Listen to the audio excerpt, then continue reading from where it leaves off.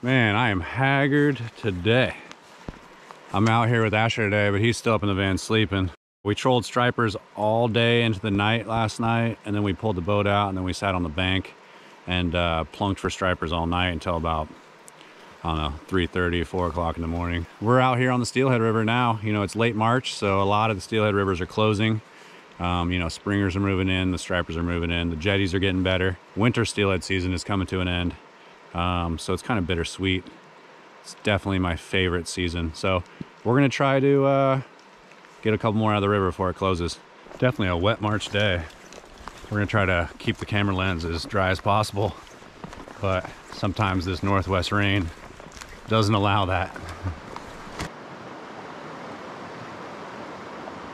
Bobber fishing in the rain and having your hands up high, you know, high sticking, trying to get the line out of the water water just runs right down your sleeve. Like basically you're wet to your elbow all day long.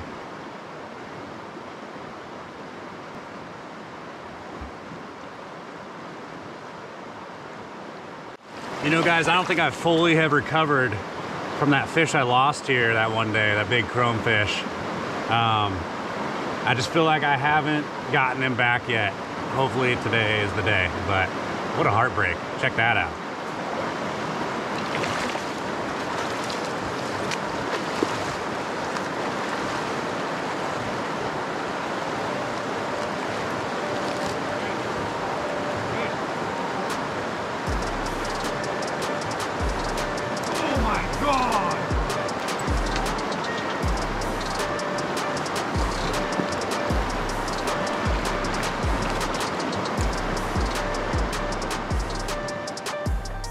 With each cast, I grit out the pocket.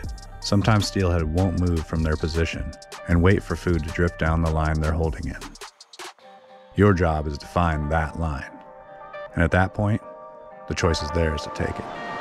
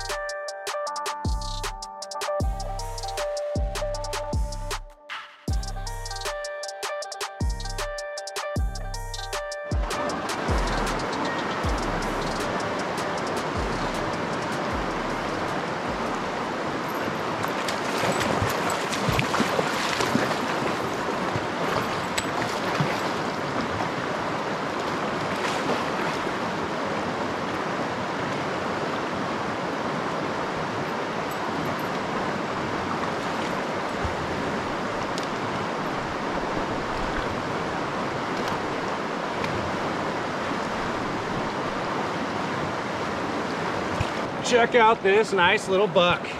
He's already spawned out. He's probably heading back downriver. You can just tell how kind of skinny he is, little white, white tips on his fins. He's been rubbing on beds. Let's let him go.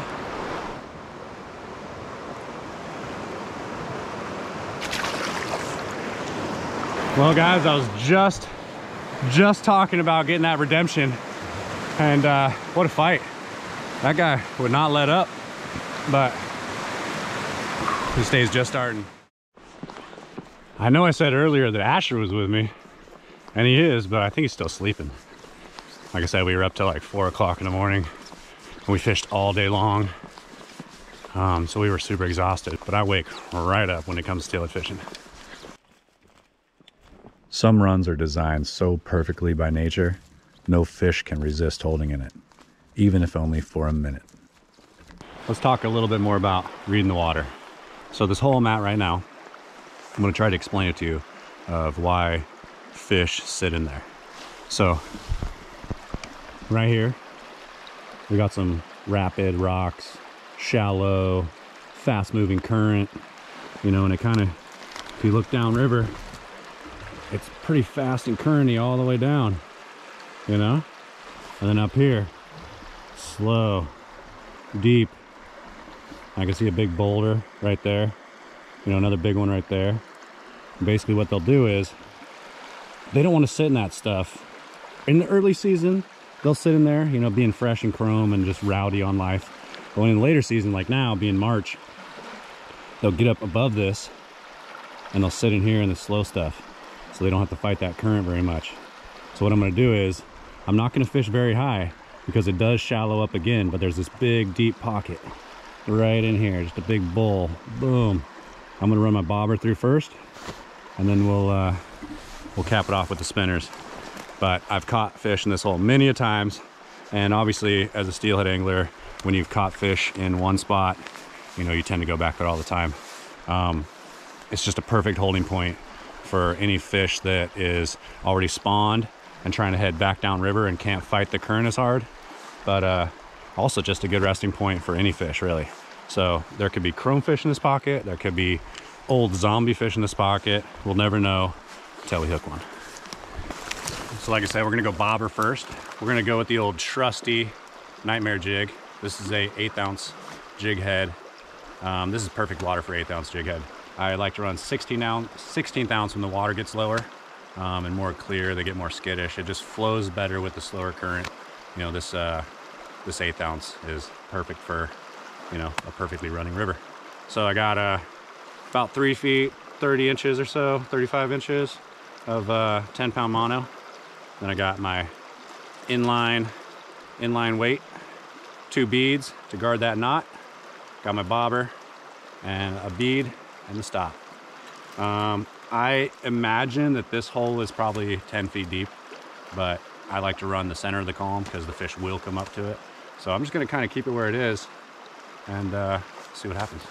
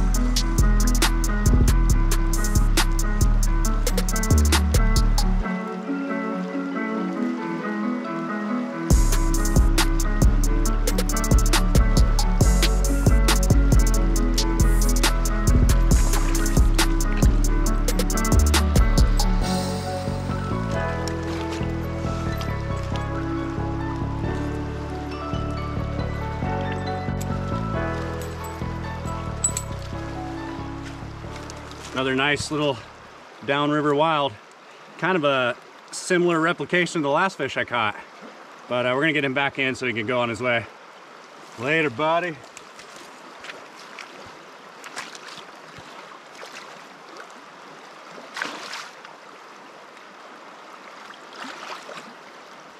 That's two casts with the spinner, two fish, different holes, but man, I ran the bobber through there a couple times, one time with the spinner. Uh, it's raining. It's late March. It's a beautiful steelhead day. You guys, I just realized that the last steelhead episode that we uh, that we dropped on the channel, Asher was sleeping also. He's sleeping right now. I got two fish on the bank. That's what happens when you sleep. People catch fish and you don't. We kind of got a we got a little streak going on right now. We hit two different holes. We got two fish out of them. Let's see if we can't hit this third hole and get another fish. People always talk about music to their ears. As far as music goes, there is no song like the sound of a flowing river mixed with rain falling all around. Little trout.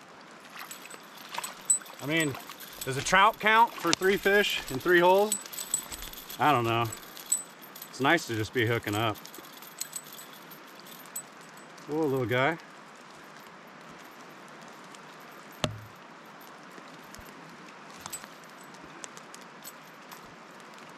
Nice little cutthroat.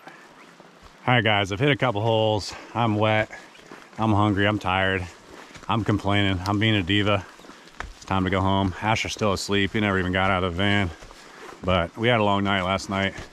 Um, yeah, there's only a couple more days of uh, winter steelhead on most rivers. So it's going to kind of be a wrap. We're going to be hunting summer steelhead later in the season. But uh, I think we're going to be doing a lot of stripers and jetties and all that good stuff. So don't go anywhere. Hope you love this stuff. If you do, hit that thumbs up. And if you ain't subscribed yet, I don't know what you're doing, but hit that subscribe, hit that bell so you get notifications when we uh, pop out new stuff. Um, anyway, peace.